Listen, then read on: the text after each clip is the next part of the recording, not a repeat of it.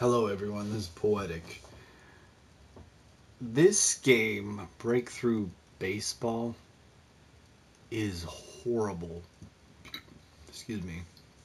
You will see people posting videos of getting the platinum in a very short period of time.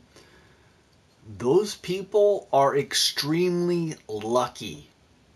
There is an RNG factor to this game. It's it's horribly designed because mm, catches 11 through 15 come so fast, you need to guess where the ball's going to be before it's even thrown in some cases.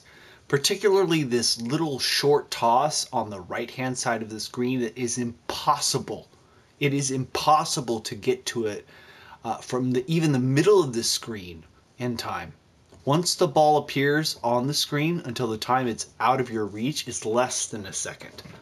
So it's just really horrible game design. And it's sad because this person is trying to present a, a religious or a spiritual message about First Thessalonians chapter 5 and it's undercut by how terrible the game is. So let's play some.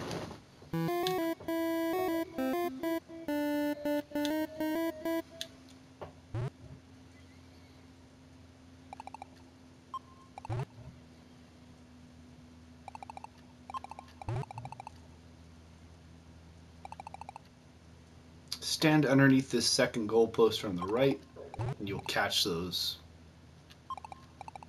curly ones.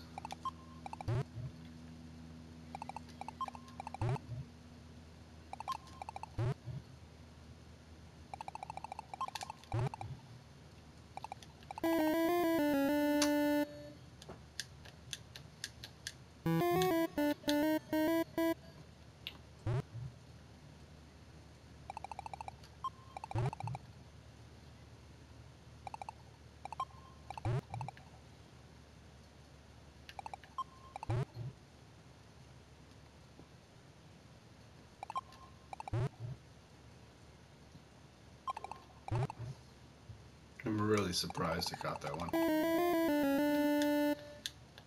The flight patterns of the, the trajectory of the baseballs don't they're not consistent.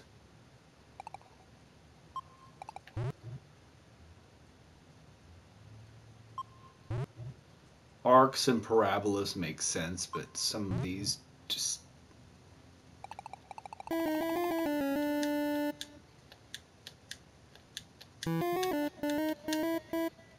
takes too long to restart, in my opinion.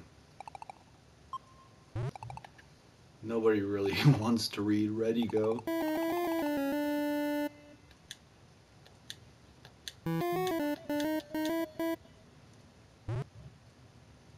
It's another second and a half that you really don't need. See, it looked like he caught it with his head.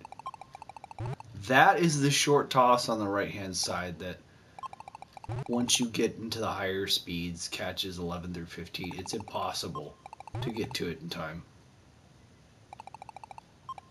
You have to know it's coming before it comes.